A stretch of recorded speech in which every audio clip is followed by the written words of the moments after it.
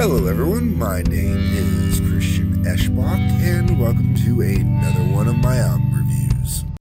Okay, folks, we're doing something a little bit uh, different out of my repertoire, or what I would, you know, most people would think I would listen to. Uh, Creed. This is not my collection through my purchasing. This is in my collection through someone giving me their CDs.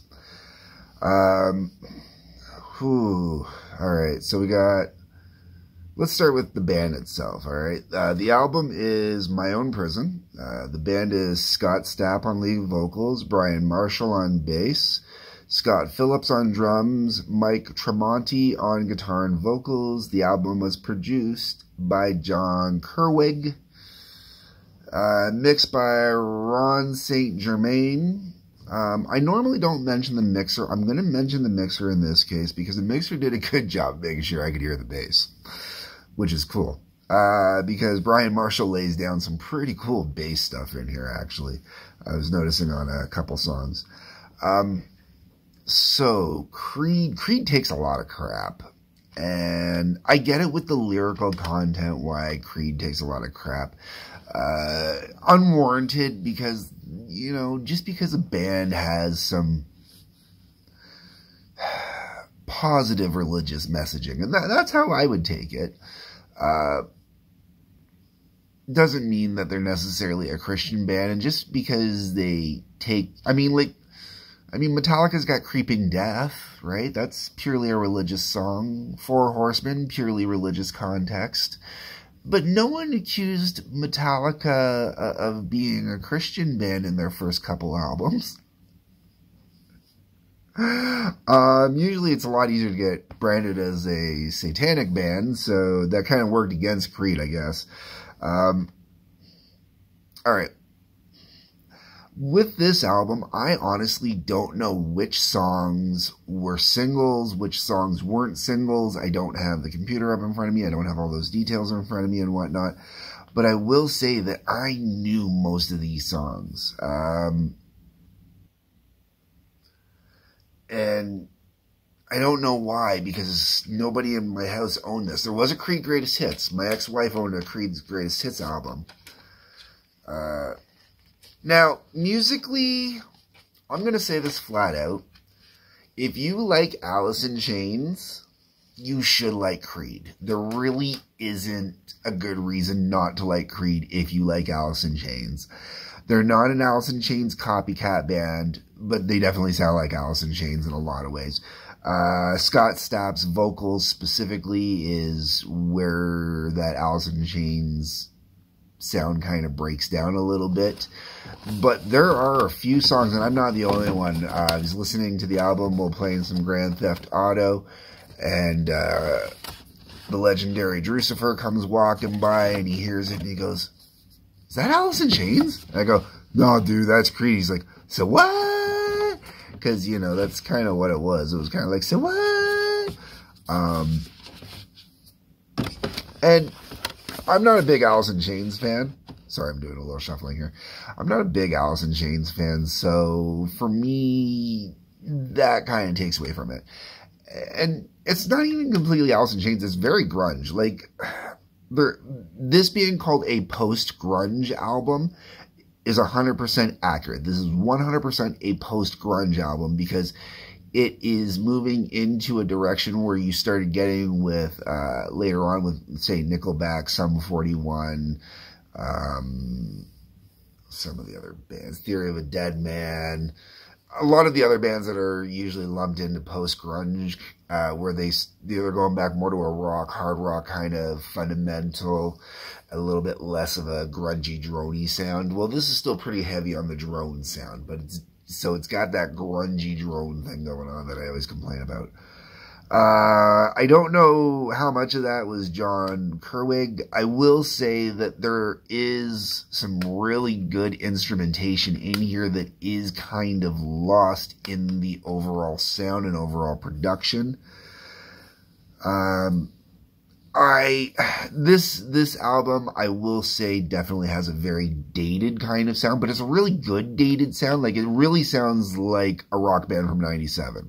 Um, really has that sound to it. But the the quality of it, the you can still hear everything nice and clear through it and whatnot. It holds up well that way. The downside is is because it has that grunge drony kind of thing going on to it. A lot of the songs kind of blend and seem very similar throughout it. There's not a lot of real standout pop out differences throughout the album. Uh, most of the songs are just kind of like a mid-level tempo, which doesn't help either. I really think that uh, the producer should have maybe, you know, had them push the tempo on a couple songs a little bit, just to give it a little more energy, a little more vibe. Um, we're going to talk about the actual songs themselves, get in this real quickly. Torn opens up the album, not bad. Ode, not bad. Both of those I'm pretty sure got some radio airplay. My Own Prison, the album's title track, definitely got some radio airplay, which was, you know, cool that way. Uh, Pity for a Dime, I was kind of pleasantly surprised by when it popped up on the album, but it's not anything that really stands out to me.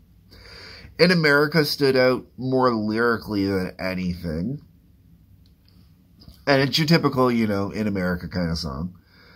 Uh, they, I like the, okay, I shouldn't say typical in America because it's not a very, it would be more of an, a typical nowadays, not very patriotic kind of taking shots at America sort of thing. Uh, maybe in the same realm as, um,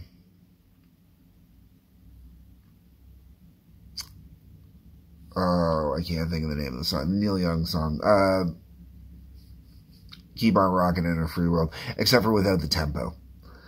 Um, once again, lack of that kind of straightforward rocker tempo on this album is kind of the one thing that is missing. Um, Illusion is decent while the album's playing. Unforgiven was decent. Sister is cool. Uh, kind of perked up a little bit for Sister. Uh, What's This Life For? I remember this one on the radio a lot too. Uh, not a bad tune, really isn't a bad tune. Uh, and then the album finishes off with one. Um, the drumming is cool on a few songs on here, and I'm going to be completely honest. I'm I've looked at the, I'm looking at the tracks while I'm listening to the album and stuff like that. And I hate to say they don't stick a hundred, the titles of the songs just don't stick the greatest. Uh, My Own Prison, What's This Life For, I definitely recognize. Uh, the rest of them, I recognize the songs, I don't recognize the names of the songs. And that is overall the whole problem with this album is there's a lot of good cuts in here, a lot of deep tracks in here, a lot of really enjoyable tracks. And, you know, if I were throwing this song on, you know, like Saturday afternoon, something like that, you know, pre warm up, pre getting ready to rock out, it would be a cool album, you know, it's a kind of a morning album. I'm recording this, you know, before noon on a Thursday, you know, just finished listening to it right beforehand. That way it's an enjoyable album. I don't mind it. And would I recommend this album? Honestly, yeah, it's not a bad album. Like I said, if you like grunge, you like Alice in Chains, if you like grunge but you enjoy quality vocals, okay? That that's the key difference here between Creed and most of the grunge bands is uh, Scott Stapp really can sing. He's got a really good voice. And I, if it wasn't for the fact that I find a lot of the Creed music so boring, as Scott Stapp's got a voice, I might actually kind of go after it karaoke because it's got some nice range to it, but he's got a good low end, gives him good good spot to sing from. And lyrically, I mean, it's not a bad album lyrically. I get why so many people make fun of it make fun and say, you know, it's a Christian album and stuff. Well, it's a Christian grunge album. Yeah, like that makes sense. Okay. Uh, so yeah, would I recommend this album? Sure. If you've never listened to a Creed album in its entirety, this is actually worth giving a good listen to as long as you're okay with the stuff you've heard before. If you really don't like the radio stuff that you've heard, then no, don't, don't listen to this album. Sorry, that's that's that's going to be the case because what you've heard on that on the radio from Creed is what you can expect on this album. Okay, no surprises. The only surprise to me was listening to this album was how much they sound like Alice in Chains when I'm listening to the whole album. Um, and like I said, there's a couple good tracks on here that really pop out, but the problem is that the titles of the songs make it kind of hard to, it just, it doesn't click for me. So take what you want from that. Uh, let me know what you think, folks. Comments below. Uh, I'd love to hear your opinions. Let me know how I'm downplaying it. Let me know what songs are standout songs for you. That way other people can see what are, you know, titles for standout songs to you. Um, like I said, I like In America. Sister's pretty cool. One is a good way to finish the album. Uh, My Own Prison's decent. Ode was cool. Sister, I mean, realistically, it's easier to say Pity for a Dime, Illusion, and Unforgiven kind of blend. There you go. The rest of the album's pretty decent. Okay, done. That's it. Let me know what you think comments.